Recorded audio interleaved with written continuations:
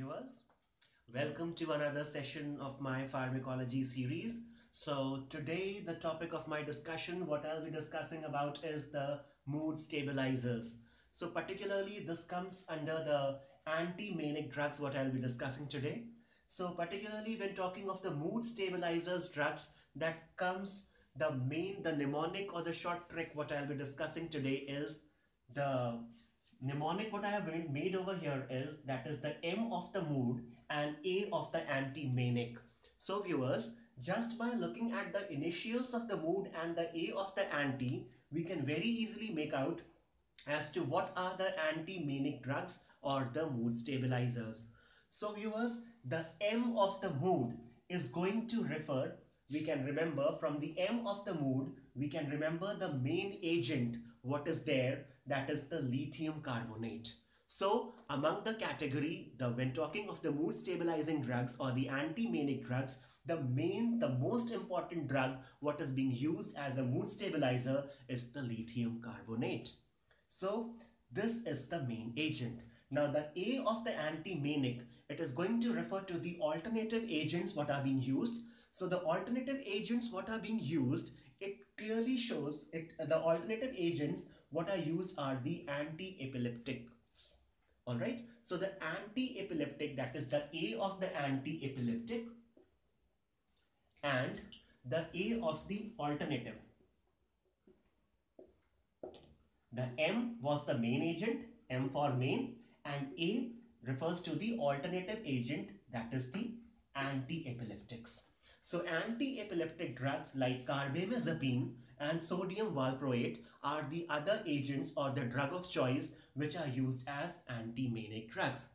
So viewers, this was my mnemonic or the short trick as to how we can very easily make out and remember the main classes of the compounds what are used as mood stabilizers or anti-manic drugs. Now just a short review as to what are the side effects or the adverse effects of the lithium compounds that is the mood stabilizers. So here again I have made a mnemonic that is L-I-T-H-I-U-M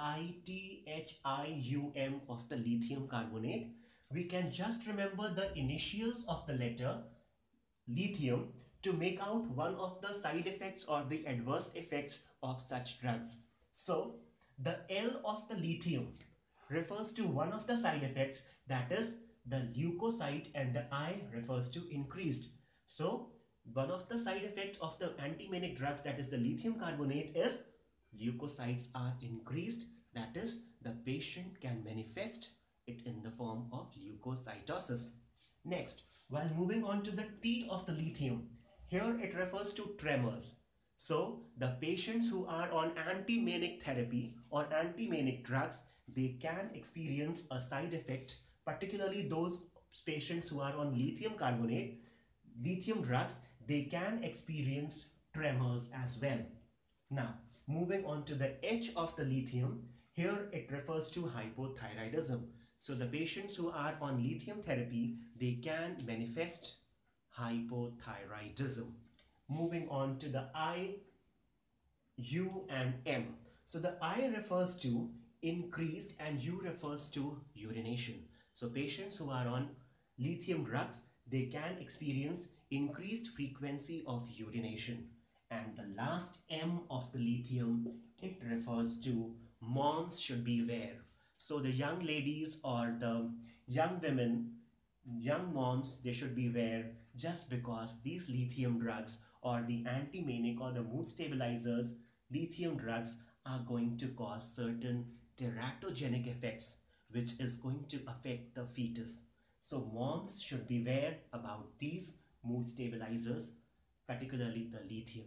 So viewers, this was my analysis or the short trick as to how we can very easily remember about the main agent and the alternative agents of the mood stabilizers and the adverse effects too. Viewers, if you do like my video, don't forget to subscribe my channel and do press the bell icon so that you can be further updated about my newer videos. Thank you for watching.